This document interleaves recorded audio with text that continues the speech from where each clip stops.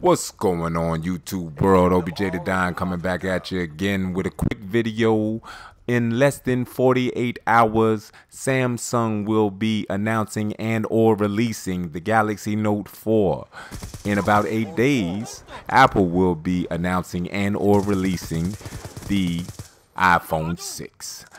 iPhone 6 is rumored to be 5.5 inches with an A8 64-bit chip Galaxy Note 4 is rumored to be 5.7 inches, the same size as the Galaxy Note 3, uh, with a 805 chip that is um, rumored to, uh, well, actually known to support 4K video.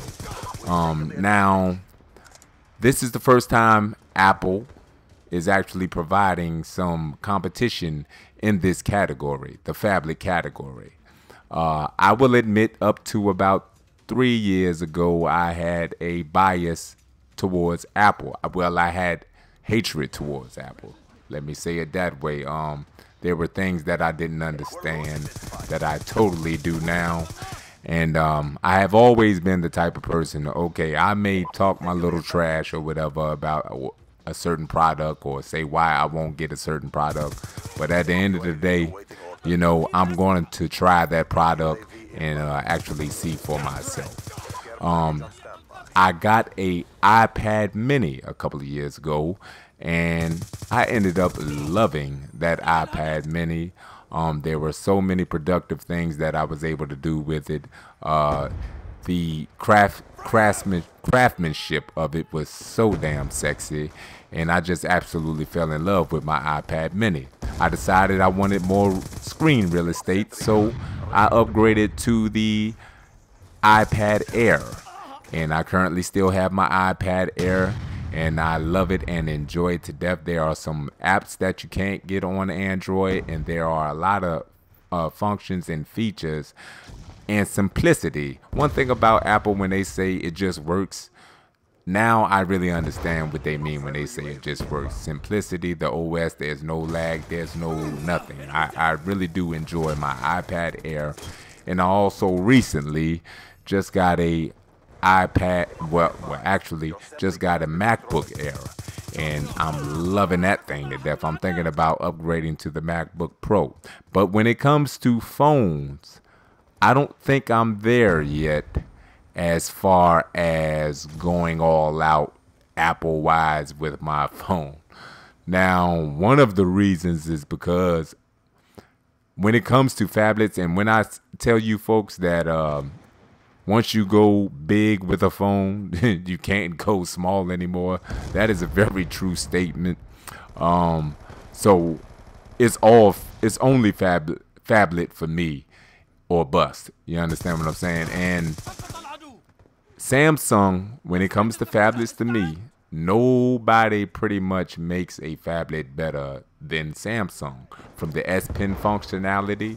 Now, even though I don't really use the S Pen very much, the times when I have you uh, have used the S Pen, it has came uh, very handy. It uh, it it it has uh, done very important things for me at the right time when I needed it. So uh, the S Pen functionality is a very, very key point to the uh, Galaxy Note line.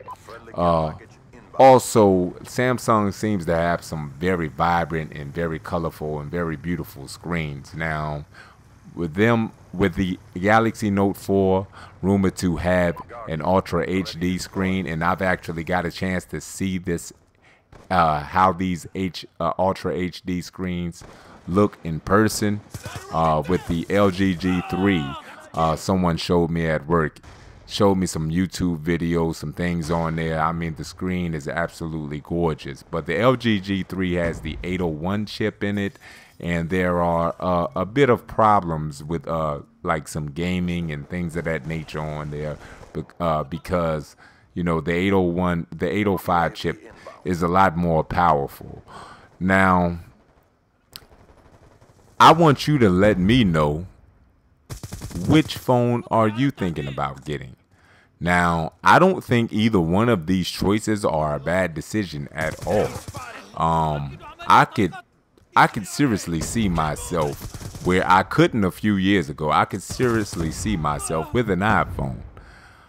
Like I said though, I love my Galaxy Note 2 and um I'm just I just think I'm going to stick with Samsung with this uh you know Ultra HD screen that they're, they're putting on the uh Galaxy Note 4. I think I'm going to roll with Samsung once more, but I am going to wait and uh, wait until the announcement of uh, the app, the iPhone 6 on September the 9th to see exactly all the features and what they are actually bringing to the table.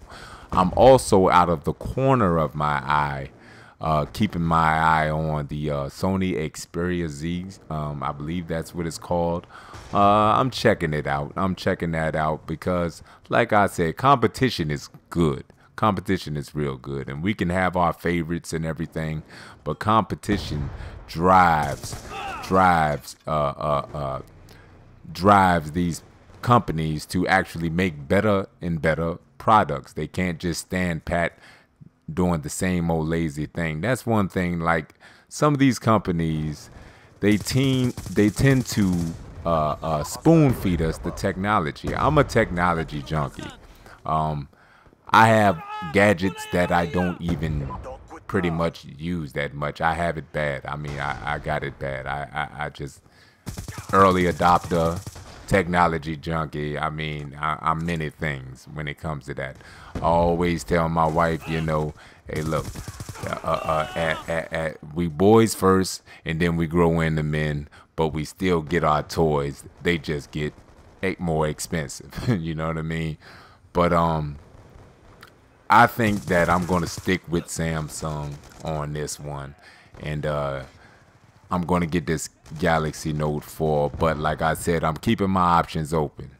But in the comment section, I want y'all to let me know which phone do you think would be better or which phone do you plan on getting.